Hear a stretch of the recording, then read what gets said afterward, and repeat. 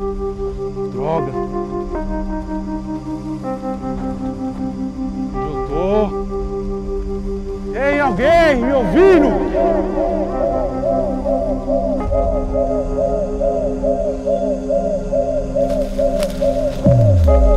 Pareço meio desligada. Meus sonhos, aliás, pesadelos, estão tão reais que parece que faço parte deles, que de dentro de mim projeções confundem o que é real e não.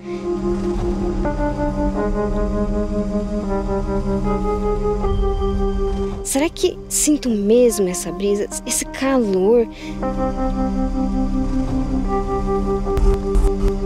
Será que esse trânsito é real? Será que tem um baú de ouro no final do arco-íris?